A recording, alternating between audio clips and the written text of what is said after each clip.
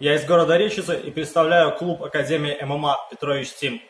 Я хочу пригласить вас всех на турнир по смешанным единоборствам, который пройдет 9 февраля в Минске в Prime Hall арене.